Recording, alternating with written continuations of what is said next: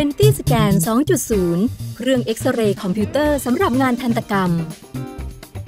เพื่อเพิ่มขีดความสามารถในการแข่งขัน ลดความเหลื่อมล้ำในสังคมไทย กระทรวงวิทยาศาสตร์และเทคโนโลยี โดย n e c t e c h และ m t e c h สวทช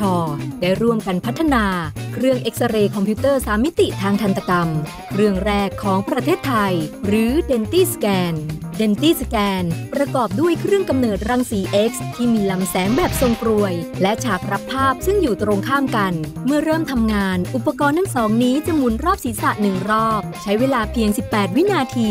พื่อเก็บข้อมูลแล้วส่งต่อให้ซอฟต์แวร์ประมวลผล สร้างเป็นภาพ 3 มิติ ภาพ 3 มิติที่ได้จะเห็นข้อมูลบริเวณศีรษะ และขากรรไกรของผู้ป่วย ที่มีความลึกและไม่มีการซ้อนทับของอวัยวะทำให้ทันตแพทย์วินิจฉัยโรค และวางแผนการรักษาทางทันตกรรม เช่น การผ่าตัดรากฟันเทียม การผ่าฟันคุด การผ่าตัดบริเวณช่องปาก ขากรรไกรและใบหน้าได้อย่างแม่นยำปลอดภัย Denti Scan ผ่านการรับรองมาตรฐานและความปลอดภัย จากหน่วยงานซึ่งเป็นที่ยอมรับในระดับสากล ผู้ป่วยที่ใช้เครื่องจะได้รับรังสีที่ต่ำ มีความปลอดภัยในการใช้งาน นับจากปี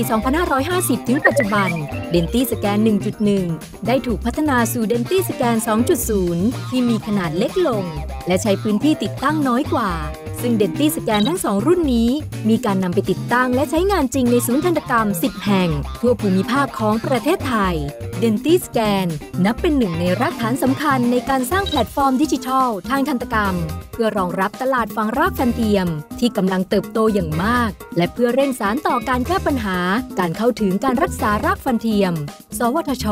ยังได้ดำเนินการโครงการขยายผล DentiiScan ร่วมกับโรงพยาบาลรัฐ 50 แห่ง เพื่อสร้างเครือข่ายทันตแพทย์ในการประยุกต์ใช้เทคโนโลยี ผ่านแพลตฟอร์มดิจิทัลทางทันตกรรม อันจะช่วยลดความเหลื่อมล้ำ สร้างโอกาสการเข้าถึงบริการด้านทันตกรรม ด้วยเทคโนโลยีขั้นสูงอย่างเท่าเทียม และสร้างอุตสาหกรรมใหม่ เพิ่มขีดความสามารถในการแข่งขันของประเทศไทย ตามเป้าหมายไทยแลนด์ 4.0